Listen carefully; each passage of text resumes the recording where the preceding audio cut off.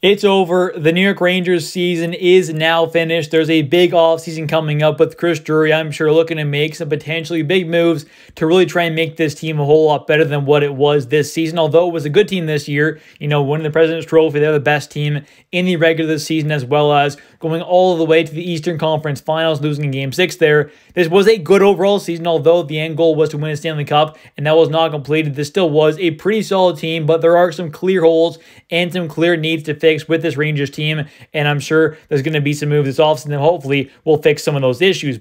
So let's take a look at this series here. Some of the good, some of the bad, some issues that I saw, and some quotes as well, and talk about some of the good stuff because there was, you know, some good things in this series, although there were some pretty big issues. So we're going to talk about all that stuff about this New York Rangers versus Florida Panthers Eastern Conference Finals series. Starting off here with the elephant in the room for the Rangers, and that was the power play. It was absolutely terrible. 1 for 15, 6.7% hit rate is awful. I know, you know, the Panthers are a good defensive team. They've got a good goaltender in net there in Sergei Bobrovsky. They are a good penalty killing team as well, but 1 for 15, 6.7% hit rate is just not acceptable. That is too bad.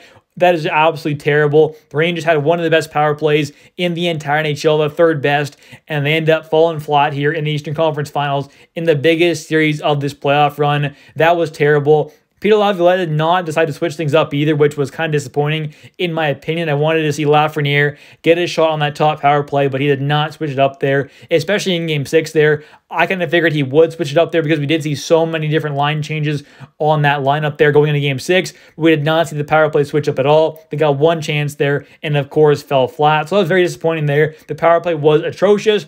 Penalty kill wasn't too bad, but definitely was not elite either, although they did get two shorthanded goals in this series and six total in the entire playoff run. Ended up going 14 for 19 in this series against the Panthers. 73.7% is not too bad. Next up here, talking about Igor Shesterkin. He was amazing once again. He has consistently proven to be a playoff performer. He may not have had the best overall regular season for his standards, but in the playoffs, he once again showed that he is a phenomenal goalie in the playoffs. Ended up having 16 games played, 10 wins, 6 losses, a 2.34 goals against average, a 927 save percentage. He was absolutely elite. He was a definite definition of elite. He was a huge part in why this team made it so far in the playoffs and got all the way to game six of the Eastern Conference Finals. He bailed this team out time in and time out. He was amazing. And now taking a look here at a quote from Paul Maurice, the Florida Panthers head coach. He says, quote, I haven't seen a series by a goaltender like that since Jose Theodore in 2002.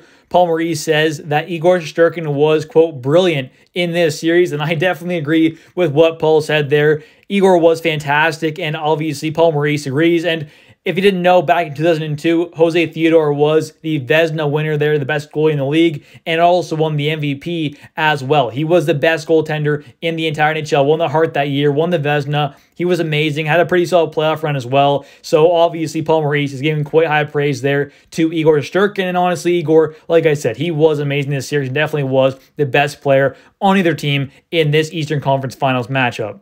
Next up, let's talk about some of the star players who were quite disappointing in this series against the Panthers. We ended up seeing our Artemi Panarin get one goal, three assists for four points in six games played. That may seem all right, but overall, he did not create enough offensively. This is a guy making over $11 million per season. He's got to be able to create more offensively. He needs to be a massive factor in these games, and he just was not that at all in this series, unfortunately, and also did not help much on the power play either. Then we've got Mika Zibanejad, who ended up getting two assists, zero goals in six games played. He also had an 11 game stretch without a single goal scored, which also went into that series against the Panthers. That was terrible there, not getting a single goal, only getting two points in six games played for a guy who's supposed to be a top line caliber center, you know, making $8.5 million per season. He has to do a better job on the power play and at 515. That was just not good enough. Then we have Chris Kreider, who ended up getting one goal, one assist in six games played in that series against the Panthers. That's just not good enough there. Panarin, Zibanejad, and Kreider are all guys who were on power play one. They get a lot of ice time, and they have to be able to produce at a much higher level. They're getting paid quite a bit. They're supposed to be true top six, top line caliber guys, and they just did not show that at all in this series.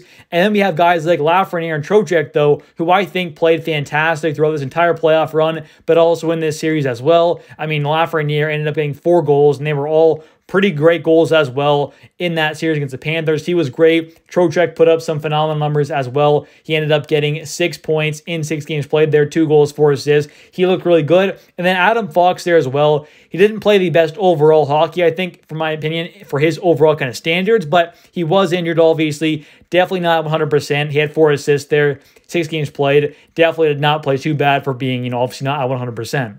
And now let's just talk about some of the issues that I noticed in this series as a whole. Losing too many puck battles was a massive one. The Panthers are definitely a very strong team, but this team needs to be tougher. They got to be stronger. They need to want the puck more, and they just didn't get the job done enough there in those puck battles in front of the net or in the corners, along the boards, wherever it was. The Rangers didn't come out with enough pucks in those battles. They just have to do a much better job.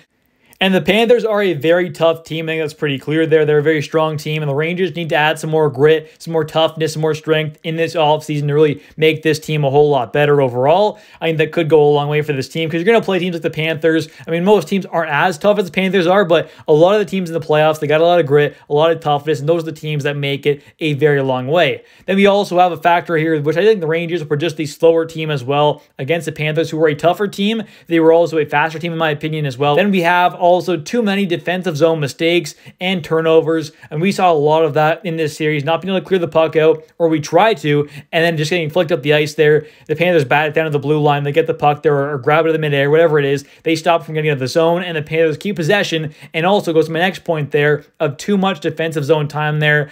The Panthers did a great job putting on a lot of pressure offensively, which was another factor that the Rangers couldn't do themselves. Sustained pressure offensively was a big issue. Rangers got stuck in their own zone a lot and couldn't create enough offensively, which obviously had a massive factor on this series. I mean, being stuck in your own zone that much, you're going to get a lot more tired there because when you're attacking you're consistently having a lot of offensive zone pressure, you're not going to be as tired because you're not chasing the puck around. You're more of just moving it around and kind of creating offensively. You're not going to get as tired. So being stuck in your own zone that much definitely tires of the guys and obviously makes them a much worse hockey team when you're as gassed as they were in this series. And now taking a look at a couple quotes here, one from Peter Laviolette, the Rangers head coach, and one from Adam Fox, the star defenseman. The first one here from Mollie Walker. Laviolette says, quote, our guys fought this year. They bought in right from the start. They fought. We made it to this point. It's disappointing. When you start something like this, you don't do it to get three wins in the playoffs or five wins in the playoffs. You do it to go the whole way. So there's a disappointment right now that sets in for sure with regard to our group and our intentions that we had throughout the course of the year. And this team obviously was a team who was a true Stanley Cup contender. They ended up being a Final Four team in the entire NHL, ended up going all the way to the Eastern Conference Finals. They had a great run. They. They played some great hockey. They won the President's Trophy this year, being the best team in the regular season, which always is not the end goal, but they were still great in regular season there. Had a good playoff run. Ended up winning, you know, two rounds there getting all the way to round three, losing in game six there. They had a good run. A lot of guys did play their butt off there. They played some fantastic hockey. Igor Shesterkin, Lafreniere, Trocheck, Barclay Goodrow. There's some of the guys as well. They played fantastic, but some of the guys definitely fell a little short there, in my opinion. And now taking a look at the quote from Adam Fox here from Vince Mercogliano. Fox says, quote, we were first place in the league all year. Obviously, we thought we could win the whole thing. Whenever you got a guy like that in net, you're Shesterkin, you always have a chance, even two years ago, and this year was no different. The goal from training camp was to win a cup, and we came up short. And that's what happened there. When you have a goalie like Igor Shesterkin, though, you obviously, as a fan, especially as well, I mean, you believe that you can win the cup. I mean, I know this team is not perfect. They don't have the overall, you know, toughness or necessarily speed, maybe that some other teams do that do win cups, but this team has, I would say, the best goaltender in the playoffs year in and year out. He has shown that he is a top tier goaltender, a top tier playoff performer in Igor Shesterkin. He's an amazing goalie. And when you have a guy like that, sometimes they can truly carry you a very, very long way and potentially really help you win a Stanley Cup as well. Anyways, thank you so much for watching. If you have enjoyed this video, please smash the like button. Don't forget to comment down below your thoughts on that series against the Panthers and on these playoffs as a whole, as the Rangers fan, obviously. And also, don't forget to subscribe for daily New York Rangers content. Even throughout this offseason, I will keep you updated constantly with daily videos about the New York Rangers and all things happening with this team. Thanks for watching. I'll catch you next one. See you later.